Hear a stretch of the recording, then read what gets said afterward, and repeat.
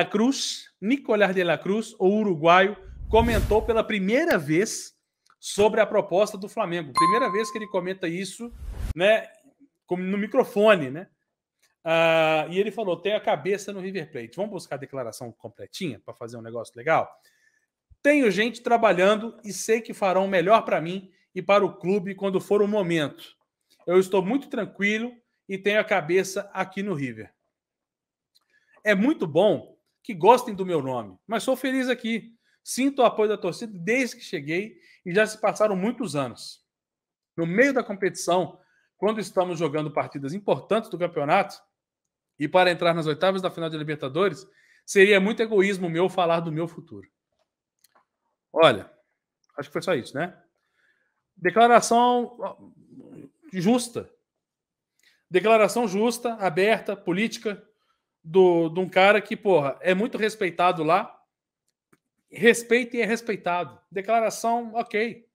Né? Declaração, ok. É igual aquela galera que fica esperando assim. O cara leu isso e falou assim: porra, não vem mais. Não vem mais. E. Não. É igual, é igual o cara que fica cobrando. O cara que fica cobrando técnico de chegar na coletiva e falar: ó. Ó, São Paulo, o que, que você achou do jogo? Ah, uma merda. Fulano não jogou nada, o outro me escorrega, o outro me errou passo pra caralho, o fulano de tal não acertou porra nenhuma. Não vai falar. É protocolar, declaração protocolar. Então, pô, até achei legal a declaração do Nicolás de la Cruz, por quê? Porque mostra um profissionalismo. Eu gosto desses caras que são profissionais, que respeitam o ambiente onde eles estão. Existe gente que não respeita clube. E existe o cara que respeita o clube.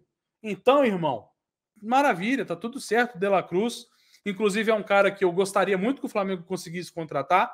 Espero do fundo do meu coração que o River se foda na Libertadores da América, com todo respeito ao River Plate, mas que o, River, que o River Plate não consiga classificar na Libertadores para ver se facilita a questão do De La Cruz. E, cara, se não facilitar, se o River passar, pô, feliz 2024, irmão. Busca esse cara em dezembro, entendeu? Busca esse cara em dezembro e tá tudo certo. É um jogador que eu acho que seria muito legal pro Flamengo, tá? É, é, um cara que há poucos tempo, há poucas semanas atrás, há poucas semanas atrás, eu, eu, eu, vim aqui e falei que eu não fazia ideia de quem era. Né? Quem acompanha o Zona sabe. Só que aí eu comecei a acompanhar. Né? Comecei a ver os jogos do River. Já assisti três ou quatro jogos em sequência do River Plate. E, porra, ele tá jogando muito bem. Um cara que tava todo mundo falando como bichado, que acabou no futebol, que não sei o quê. Então, assim, tô gostando demais do futebol dele. Inclusive, acho que a presença dele tá fazendo o River crescer e que, inclusive, isso vai fazer o River passar. Então, agora, isso, o que eu estou falando aqui significa que, pá, então deixa o, meia reserva para. Reserva não, deixa um meia para 2024. Não. A gente precisa contratar alguém agora. Precisa contratar alguém agora. Então, se contratar esse alguém agora e esse alguém jogar bola para caralho, já pode até ser um indício de que não renova com o Everton Ribeiro, por exemplo, o contrato do De La Cruz, irmão. Entendeu? Não vejo. Eu não vejo a situação do De La Cruz fazer o Flamengo descartar o De La Cruz para sempre e nem vejo essa situação de descartar um meia para o Flamengo nessa janela de julho. Apesar de eu achar que não vem nenhum meia na janela de julho. Ou é o De La Cruz, ou não vem ninguém. A minha opinião é essa. Sobre a janela de julho. Tá bom? Porque eu acho que o Flamengo não vai é, botar a mão no bolso assim, igual está fazendo, né? Igual poderia ter feito, né? Nós vamos falar do Alan ainda, do Alan, que não é, não é isso que está acontecendo na questão do Alan. Os valores não foram aumentados, o Flamengo não aumentou a proposta, o caralho, não. Então eu acho que o River também, o River não quer dinheiro. O River quer fuder o Flamengo, que é candidato direto na Libertadores, e é. O, o, o, quem foi que falou? Foi o PVC? Foi o PVC que falou que o River Plate está correto? Quem foi que falou que o River Plate estava correto em não vender jogador para o Flamengo? Teve alguém que falou, e desculpa, irmão, tá certo. Tá certo, estão no direito deles. Estão no direito deles. Entendeu? Estão no direito deles. O que não é anormal um adversário. Rizek, obrigado, Rodrigo e Macapo. Foi André Rizek. Quem que eu falei? Quem que eu falei sem ser André Rizek? Quem foi que eu achei que eu tinha. Que eu, que eu, que eu, que eu citei? Já esqueci, tá, tá foda, bateu uma dor aqui, ó. Né? Espero que não seja nada. Então, assim, o que, o que é anormal para mim, PVC, obrigado, falei PVC, foi o Rizek. O que é anormal para mim é ver o Atlético vender um jogador bom, um dos destaques para o Flamengo. Isso é anormal para mim. Achei do caralho. Acho do caralho. Anormal. Agora, para mim, o que o River está fazendo é normal. Normal. River tá normal, tá no direito dele, ó, tá tudo certo, irmão. Que a minha, que a minha diretoria faça isso. Se o Palmeiras bater na porta querendo levar alguém, que a minha diretoria faça isso. Beleza? Zero polêmica. Zero polêmica. Ratos Natos, concordo com você. Isso mostra a necessidade de grana do Atlético. E o River não tá diferente disso. O River também precisa de grana. Só que o River coloca isso acima disso. Isso, poxa, do caralho. Acho do caralho. Então, todo respeito aí ao River Plate. E, pô, ou o Flamengo aumenta a carga, o que eu acho que o Flamengo não vai fazer, ou 2024, irmão, e segue o jogo. Mas precisa de alguém em julho. E eu acho que o Flamengo não vai buscar esse alguém em julho, tá? Vai esperar o De La Cruz em janeiro. Enfim, enfim, vamos aguardar o que, que vai acontecer. Mas o De La Cruz deu essa declaração aí protocolar, legal, né? A parte que eu mais gostei é de quando ele fala: tenho gente trabalhando, né? Tenho gente trabalhando para mim. Tipo assim, eu tenho quem resolva, não é o jogador que vai falar, ah, ele vai aceitar a proposta ou não vai. Não. Tem gente trabalhando para ele, é um staff. E aquilo que o doutor Marcos Mota sempre fala: quem comanda o jogador, comanda a ação. Então, se o pessoal que trabalha para ele sentir que o momento é esse e que o melhor é isso, isso vai ser definido com o River Plate também, querendo ou não, né? Acredito eu.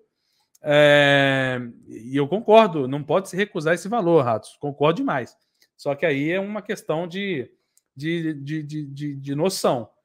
O River é um dos clubes mais ricos da Argentina, colocou aqui o Tripa Seca. Eles acabaram de ganhar 40 milhões, concordo, mas mesmo assim é, não se recusa 13 milhões de euros. Né? É, é, é, é uma proposta indecente. Mas eles recusaram. Eu acho isso do caralho. Quem não precisa de 3 milhões de euros? Você precisa. Enfim. Eles pediram 15, né? Pois é, eu acho que o Flamengo vai esperar para chegar em 10, 12. Não acho que vai ser 13, não. Acho que vai ser menos de 13. Mas nós vamos falar do Alan, que tem muito a ver com isso. Então, é, declaração pro, protocolar de De La Cruz. Acho muito legal esse termo, né? De tem gente trabalhando para mim e farão melhor para mim, para o clube, quando for o momento. O momento pode ser agora, essa semana, pode ser semana que vem, pode ser ano que vem, quando for o momento. Estou muito tranquilo e tenho a cabeça aqui no River. Perfeito, é isso, jogador concentrado e focado. É muito bom que gostem do meu nome, né? E, e é verdade, quem não gosta, né, de ser é, ventilado ou ser procurado, né, ser contactado, enfim. Uh, legal a declaração do De La Cruz e eu espero o mais rápido possível que o Flamengo consiga trazê-lo para reforçar. E caso o River Plate seja eliminado, informação de Vini Casagrande, na fase de grupos da Libertadores, a chance do De La Cruz ser negociado é enorme, mesmo eles fazendo todo esse jogo duro que tem feito até agora. Se isso acontecer, o Flamengo vai aumentar a proposta realizada anteriormente pelo Meia, né? Então aí podendo aí ultrapassar os 10 milhões de euros, os 12 milhões de euros, né? E aí entra nos 13 aí que o Rato Nato deve estar falando por isso, inclusive. Então agora é aguardar. Então se você quer a presença de Nicolás de la Cruz, torça para o River Plate cair na Copa Libertadores da América. Ah, deu para render um corte, não deu? A parada para beber água acho que foi legal, foi bonita. Foi, como é que fala? Cine, cinematográfico, né? Foi, foi uma, quase uma atuação, né? Pareceu o Fábio, o Fábio Vascaíno lá, como é que chama? Professor do Perrota? Fábio Azevedo, né? Fábio Azevedo e o Vasco, né? Como é que é? Aí ele vai tomar um golinho de água que não tem água. No meu tem água pra caralho aqui ainda, ó. Tem água, porra. Entendeu? É água, Daniel Miranda. Então, assim, foi, foi nesse nível aí de Azevedo. Foi nível Fábio Azevedo agora de atuação. Caralho, achei foda isso aí.